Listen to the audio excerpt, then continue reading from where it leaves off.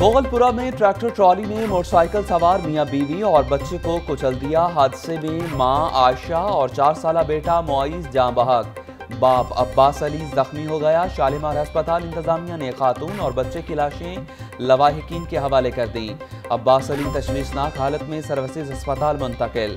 Tractor trolley کا driver موقع سے فرار، پولیس ہیلپر کو گرفتار کر لیا گیا۔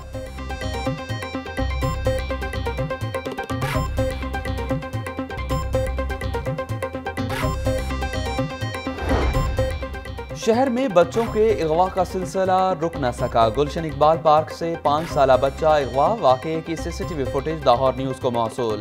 برکا پوش خاتون دن دہاڑے پانچ سالہ ساتھ کو اغوا کر کے لے گئی۔ پولیس تاحال بچے کو بازیاب نہ کروا سکی۔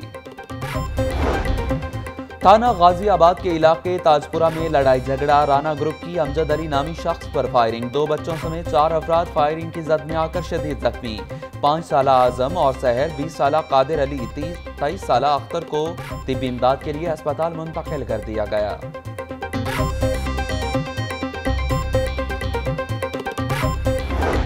پنجاب کابینہ کے متعدد وزراء کے لیے خطرے کی گھنٹی بج گئی۔ تمام وزراء کی کارکردگی کے حتمی مرحلے کی مانیٹرنگ شروع۔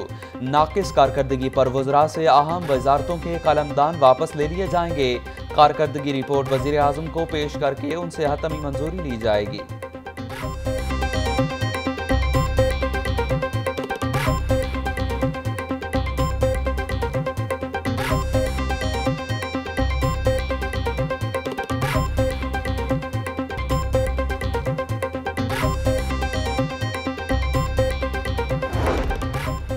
شہر میں ایل پی جی مافیا بے قابو، مافیا بلیک میں ایک سو پچاس روپے فی کلو ایل پی جی فروخت کرنے لگا۔ انتظامیہ مافیا کے آگے بے بس۔ اوگرا نے ایل پی جی کی قیمت ایک سو پندرہ روپے فی کلو مقرر کر رکھی ہے۔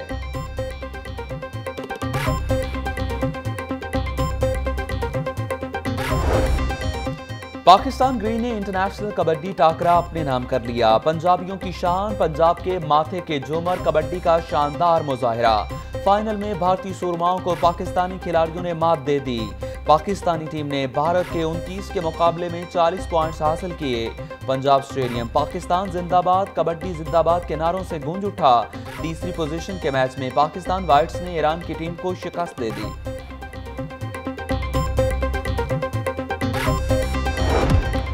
اور deputy attorney general Pakistan Rana Abdul Shakoor کے بیٹے کی دعوت ولیمہ کی تقریب جسٹس شاہد بلال حسن ارکان اسمبلی ملک رشید احمد خان، ملک کرامت کھوکر ملک مختار احمد، سابق vice chairman Pakistan bar Ahsan Bhoon, صدر Lahore high court bar Noor Samand Khan, Hafeez ur-Rehman Chaudhry اور دیگر کی شرکت۔